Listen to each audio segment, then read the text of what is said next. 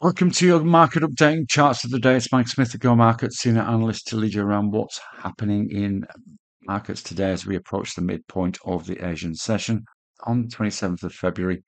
Let's have a look at the news. Of course, overnight we saw a fairly soft session in the US.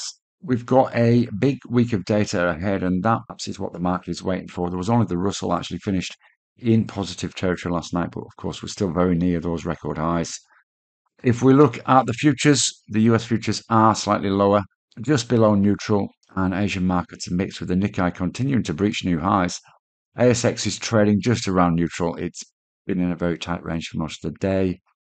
European equity futures are also pointing to a cautious open this afternoon. You've seen a pattern developing here, I'm sure. US dollar index is holding support of a short term range, and gold consequently didn't move very much, still trading around about that 2030 level. Copper was a bit weak yesterday after the strong week last week, perhaps a little profit taking. That next key level is at 392, so that's one to watch.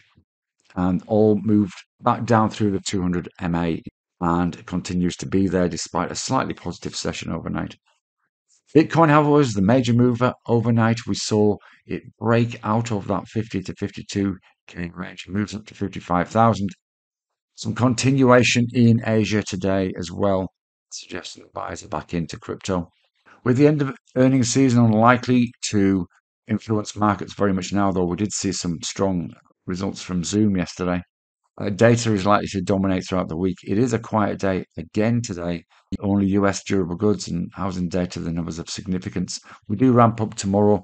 Uh, in Australia, we've got uh, the latest monthly CPI numbers and we've got GDP coming out of the US. A couple of charts that caught our eye today. Uh, we're going to start with WTC. WiseTech Global. We've talked about this company quite a few times. You had this nice earnings pop last week, and we're just stuck under that 90.50 level. We are now breaching that and challenging new all-time highs.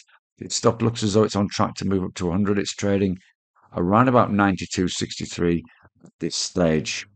On the FX front, the GB pound's looking strong this morning against the Kiwi. You can see this hourly chart has it testing this R1 pivot uh, just around the 206 area.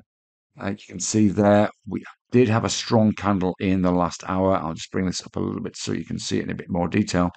But failed to hold that move over to 593. We're having another go right now. Uh, a move through this could see us up around the 206.50 level, so perhaps 50 pips to be gained should it do so. Trade safe and see you again soon. Bye bye for now.